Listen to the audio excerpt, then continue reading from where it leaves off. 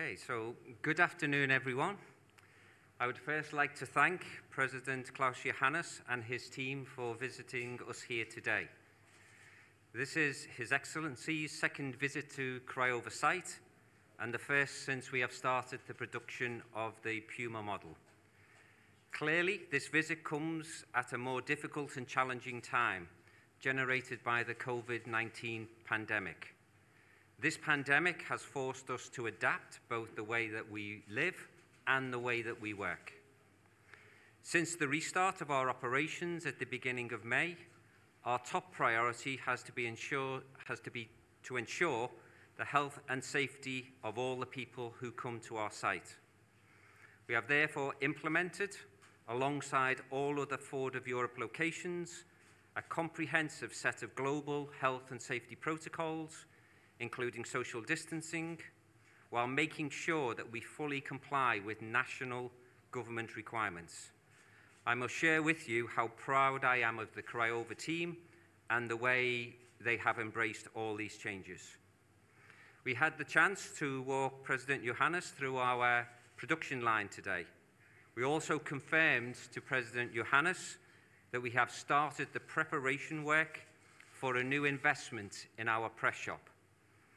This is an impressive 30 million US dollar investment in a new press line, which will allow Craiova plant to manufacture in-house a wider range of vehicle components, some of which are now being exported from other Ford European plants. On Monday this week, we also returned in vehicle operations to a three-shift working pattern this demonstrates that the EcoBoost engines and the EcoSport and Puma vehicles that we produce here on site are in demand both in Europe and other global locations. Also, as you may know already, Ford of Europe announced in May this year that our award-winning Puma will also be available as an ST version. The production of this vehicle will start later this year here in Craiova.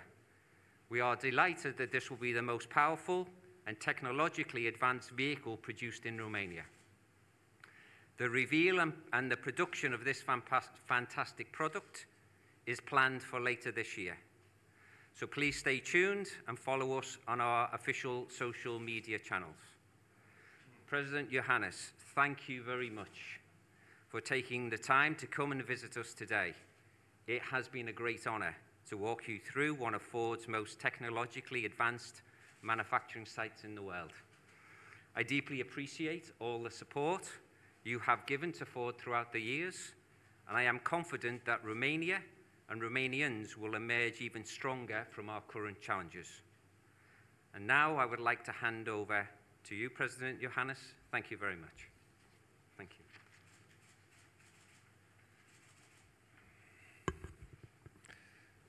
Thank you, Mr. Pearson.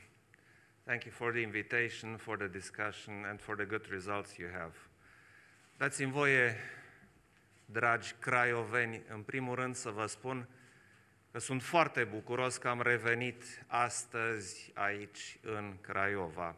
Am primit invitația de la domnul Pearson să facem o vizită în uh, fabrica Ford și cu această ocazie am văzut ce noutăți avem aici, am văzut o echipă foarte dedicată, am văzut oameni harnici și cred că este un semn foarte bun pentru locația economică Craiova. Uh, despre echipa Ford, cred că uh, pot să spun fără nicio reținere că este una foarte performantă și întreaga echipă Ford, începând de la uh, conducere până la angajații care lucrează în diferitele secții, sunt exemple foarte bune pentru întreaga țară cum trebuie să funcționeze o uzină modernă. Felicitări tuturor! Am auzit că există intenția de a extinde fabrica, ceea ce este lăudabil și sper să fie un mare succes. Dar dați-mi voie în acest context să vorbesc un pic mai mult despre Craiova și despre economia românească în general. La sosire în aeroport am avut și o întâlnire cu reprezentanții autorităților locale și le-am spus câteva lucruri. În primul rând, locația economică Craiova este extrem de importantă pentru mine, dar asta este evaluarea mea, este însă extrem de importantă pentru România. Craiova este o locație economică de primă mână în Europa. Și pentru asta e nevoie de investiții și de extindere. Pentru autoritățile locale am avut un mesaj clar. Construiți proiecte pentru bani europeni. Știți că am negociat 80 de miliarde de euro, bani europeni, pentru România, bani care vor putea fi folosiți în următorii ani cu mare succes. I-am invitat să, pro- să pregătească din timp proiecte pentru Craiova, proiecte pentru întregul județ, pentru întreaga regiune, infrastructură, dezvoltare economică, dezvoltarea sistemului educațional, fiindcă acești investitori au nevoie de mână de lucru calificată și toate acestea pot fi făcute și vor fi făcute folosind prioritari bani europeni.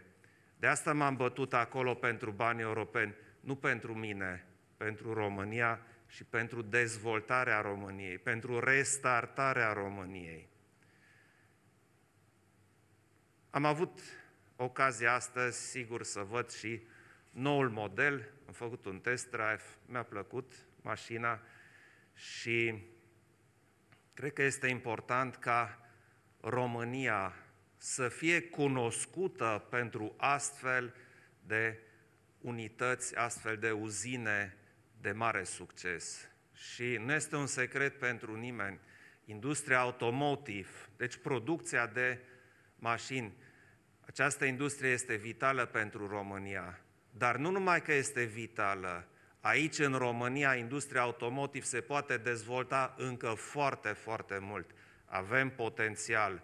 Acum vom avea și banii pentru a face investițiile care transformă România în așa fel încât să fie mult mai atractivă pentru investitorii și din domeniul automotiv, sigur, și din toate celelalte domenii. Eu țin să felicit pe domnul Pearson și echipa Fort Craiova. Le doresc mult succes, le doresc mult succes craiovenilor și abia aștept să mă întorc să văd cum se dezvoltă lucrurile aici în capitala Băniei. Vă doresc tuturor mult succes și sănătate!